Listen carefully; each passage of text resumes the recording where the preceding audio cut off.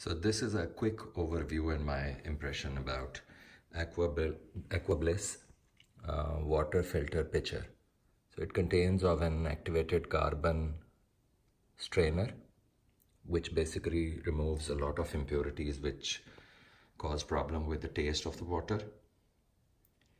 One of the nice things about this is this uh, date minder as you can see this one. I think it's a neat feature which basically helps you remembering when the filter uh, replacement is due. You can rotate this knob for the number of days and this one for the month. To fill the water, you open it from here, fill the water in when you want to dispense water you just tilt it from this side and this lid opens partially to let water out. Here is how it works. So this is how the water dispenser works.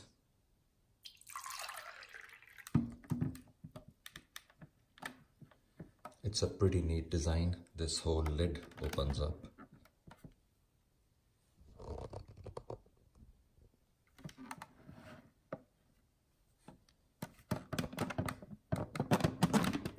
like this.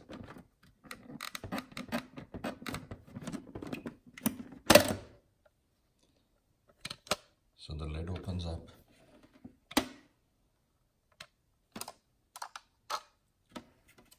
This is where the strainer fits in.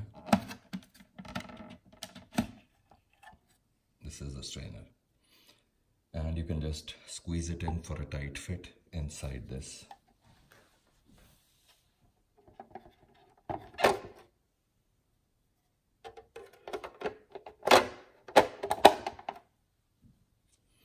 there is no particular direction. You can just put it in and push it for a tight fit so that when you fill this with water water only goes from uh, inside the filter and not bypasses it.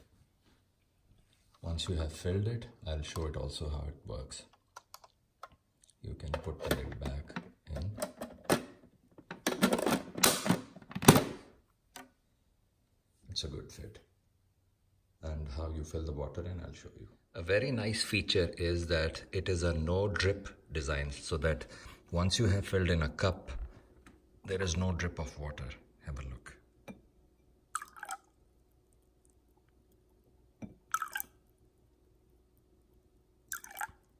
So that is beautiful.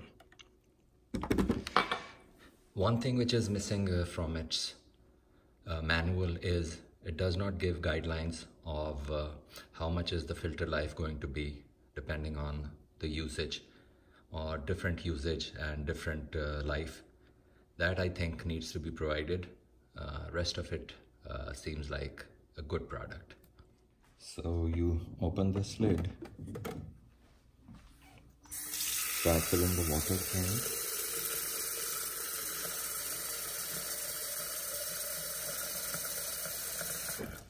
and then turn off the water. This water will start getting filtered and getting into the lower container.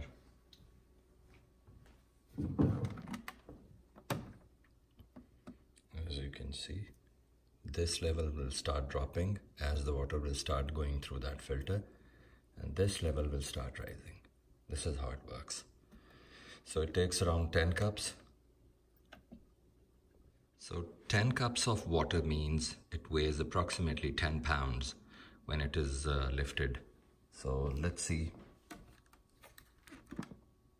It has a good ergonomic uh, handle. So lifting is not that difficult. Um, the design is pretty sturdy. It seems like it is going to uh, take moderate amount of uh, abuse so I will post a review later on also as an update on how it has been uh, working after a couple of months. So if you have any questions, please let me know. Thanks for watching.